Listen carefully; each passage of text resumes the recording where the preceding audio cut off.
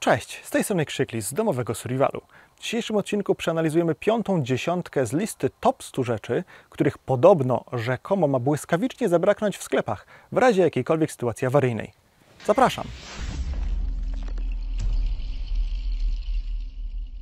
Czwartą dziesiątkę na miejscu 41 zaczyna mąka, drożdże i sól. Nie wiem w takim razie o co chodziło na miejscu 39, gdy była mowa o produktach do pieczenia. Tak, jakąś namiastkę pieczywa ludzie będą chcieli mieć i myślę, że w Polsce mąka i drożdże będą znikać błyskawicznie. Drożdży to zresztą już brakowało w polskich sklepach podczas którejś tam fali pandemii. Muszę tylko powiedzieć, że naiwnym jest myślenie, że jeśli teraz nie umiesz piec chleba, to nauczysz się to i będziesz to robić dobrze, kiedy nie będzie wody, prądu ani gazu. No skoro teraz nie umiesz upiec chleba w piekarniku, to jak chcesz się go nauczyć błyskawicznie piec na ognisku, w jakiejś foremce, na grillu, w kociołku takim żeliwnym? Można to zrobić, ale proponowałbym zacząć naukę jednak od domowego piekarnika.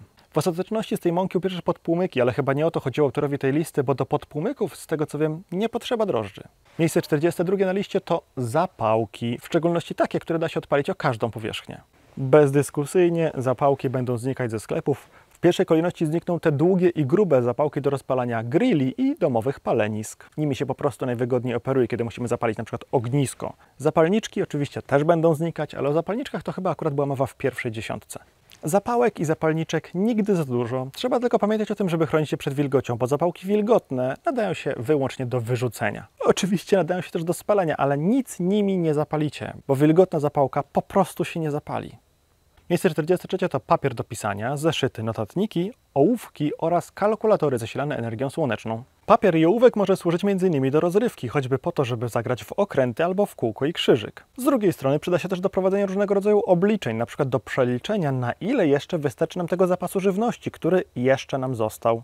I oczywiście dobrze jest umieć podstawowe działania matematyczne i nie musieć posługiwać się kalkulatorem, ale z całą pewnością wygodnie się takie obliczenia prowadzi za pomocą kalkulatora. Jeśli w grę będą wchodziły jakieś trudniejsze obliczenia, np. obliczenie wytrzymałości belek, z których będziemy chcieli coś zbudować, to wtedy kalkulator i poradnik mechanika z bazą wzorów jak najbardziej się przydadzą. Krzyżówki. Ludzie też będą kupować krzyżówki. Ja bym kupił. Lubię krzyżówki. Lubię też sudoku. Na miejscu 44 mamy turystyczne lodówki. W anglojęzycznej wersji tej listy chodziło o takie wielkie lodówki, w których trzyma się dużą ilość lodu i na tym lodzie przechowuje się jakieś napoje jadąc gdzieś na wycieczkę, albo złowione ryby w większych ilościach, albo upolowane mięso, jak już się to mięso oprawi. Na polskim rynku takie lodówki też są dostępne, ale nie w takich dużych ilościach, bo nie ma na nie chyba aż tak dużego zapotrzebowania. Ale takie mniejsze plastikowe lodówki turystyczne, torby termiczne, myślę, że mogą znikać. Ale nie wiem, czy będą one służyć do utrzymania chłodu, no bo skąd mielibyśmy ten chłód? Jeśli nie będzie prądu, nie będziesz miał czym schłodzić tych wkładów do lodówki, ani czym zrobić kostek lodu. Ale możesz chcieć przechować coś ciepłego, żeby tego ciepła nie straciło. Albo ochronić coś przed zamarznięciem, np. wodę w pojemnikach. Ale do tego przyda Ci się albo taka lodówka, albo po prostu pierzyna, kołdra, koce, Miejsce 45 to obuwie robocze, pasy, jeansy i wytrzymałe koszule, koszulki. Nigdy nie wiem, czy shirt to jest koszula czy koszulka. W każdym razie, jeśli będą sytuacje wymagające większej niż zwykle ilości pracy fizycznej, bo na przykład trzeba będzie ściągnąć drewno z lasu do domu, żeby mieć czym ten dom ogrzać, albo zorganizować większą ilość żywności bądź wody, to wtedy taka wytrzymała odzież, po prostu odzież robocza, jak najbardziej znajdzie zastosowanie. Ale zwróćcie uwagę, że tutaj nikt nie mówi o odzieży taktycznej, wojskowej, w kamuflażu. Przypadek? Nie sądzę giń. Na tym kolorze jeszcze trudniej jest niż na tym czarnym albo szarym wypatrzeć komary. Nie bez przyczyny one mają takie barwy, żeby właśnie w lesie było trudno je wychwycić, zauważyć. Miejsce 46 na naszej liście to latarki, światła chemiczne, pochodnie oraz latarnie sztormowe. Takie w sensie takie naftowe latarnie sztormowe. Bo o zwykłych lampach naftowych to już mówiliśmy dużo, dużo wcześniej. Co tu dużo mówić? Jedyne, co mnie w tym miejscu zaskakuje, to, że dopiero teraz mówimy o awaryjnych źródłach światła. Wydawało mi się, że to jest jedna z tych podstawowych rzeczy, które będą znikać. No zawsze na apokaliptycznych filmach ludzie pakowali do koszyków w razie paniki zakupowej latarki i baterie do nich. Coraz więcej ludzi ma latarkę wyłącznie w telefonie komórkowym, a jak ten przestanie działać, to co, będą siedzieć w ciemności? No, przewidując te okoliczności, ludzie właśnie będą kupować latarki i baterie, ale baterie były już omawiane wcześniej. Na miejscu 47 mamy leki na receptę, insulinę oraz strzykawki. Tak, z tym punktem się zgodzę, ale tylko jeśli ludzie będą w stanie zorganizować sobie recepty. Dziś to nie jest trudne, bo są one wystawiane i przesyłane przez internet. Czy farmaceuci będą Wam skłodni sprzedać bez recepty leki, których potrzebujecie na co dzień? Nie mam takiej pewności. Szansa na to będzie większa, jeśli teraz te lekarstwa kupujecie zawsze w tej samej aptece i dacie się tam farmaceutom zapamiętać. Ale nie chciałbym opierać na tym swojego przetrwania. Gdyby moje życie zależało od dostępności insuliny, zrobiłbym naprawdę ogromny jej zapas. Największy, jaki tylko byłbym w stanie. Róbcie zapas leków na receptę. Po prostu. Bezdyskusyjnie.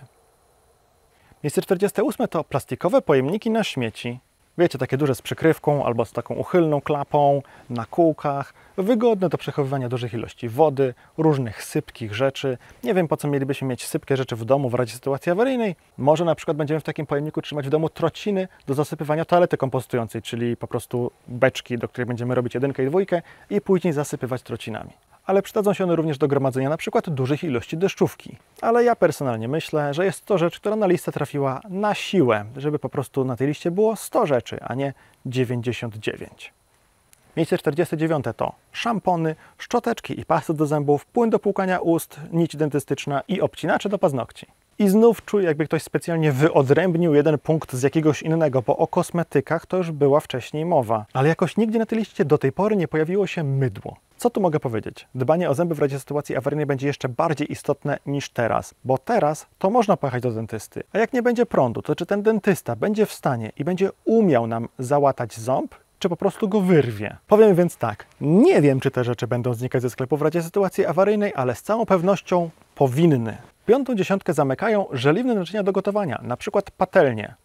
Pod wieloma względami żeliwna patelnia nie jest aż tak dobra jak patelnia teflonowa, na której nic nie przywiera. Tym niemniej jest mnóstwo ludzi, którzy już dziś cenią właśnie takie żeliwne naczynia do gotowania czy do smażenia. Poza tym one się świetnie nadają do gotowania na ogniskach. Nie bez przyczyny to właśnie z żeliwa wykonywane są kociołki myśliwskie, które się na takim trójnogu stawia na ogień i robi w nim coś, na przykład gulasz. Tylko tu widzę jeden mały problem. Sam nigdy na takim naczyniu nie gotowałem, więc nie wiem, czy chciałbym się tego uczyć w sytuacji awaryjnej, kiedy o żywność będzie trudno, o opał do gotowania również będzie trudno i na pewno nie będę chciał tej żywności przypalać na źle prowadzonym ognisku. Może więc trzeba coś takiego kupić już teraz?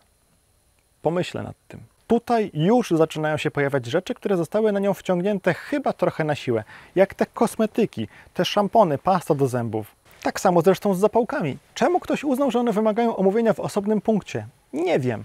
Te pojemniki na śmieci zostały tu wciągnięte moim zdaniem trochę na siłę. Chyba, że rzeczywiście ze sklepów najpierw znikną wiadra, beczki z zakręconym wieczkiem do przechowywania żywności, np. kapusty kiszonej, no to wtedy ludzie być może rzucą się na te pojemniki na śmieci, jeśli nie będą mieć innego wyjścia, a będą potrzebować czegoś, czegoś do czego? Do przechowywania wody? To wystarczy karton złożony do środka workiem foliowym. Wystarczy, naprawdę. No ale cóż, taką intencję miał ktoś, kto tę listę tworzył, a ja ją tylko mogę krytycznie przeanalizować, bo takie właśnie jest założenie tego cyklu. I powiem szczerze, że nie mogę się doczekać na nagrywanie kolejnych pozycji z listy, bo czuję, że będzie jeszcze ciekawiej, jeszcze śmieszniej, że tam będą rzeczy jeszcze bardziej naciągane niż teraz. A na koniec tradycyjnie chciałbym Was bardzo gorąco zachęcić do obejrzenia innych materiałów, które dla Was przygotowaliśmy, w szczególności tej playlisty, do wspierania nas na Patronajcie za pomocą tego odnośnika, bo patroni mają możliwość oglądania naszych filmów dwa dni wcześniej i w dodatku bez reklam, oraz do subskrybowania naszego kanału za pomocą tego odnośnika, aby nie przegapić kolejnych filmów z tego cyklu i wszystkich pozostałych. Do zobaczenia w następnym filmie. Trzymajcie się. Cześć!